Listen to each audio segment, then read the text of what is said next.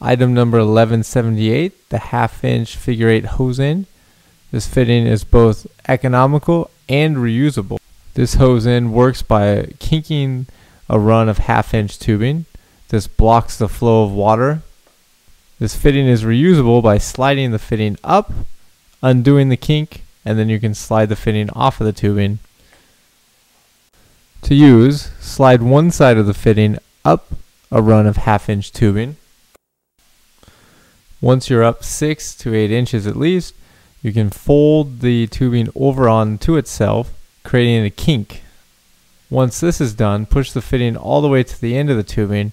This locks the kink in place, blocking the flow of water out of the half inch tubing.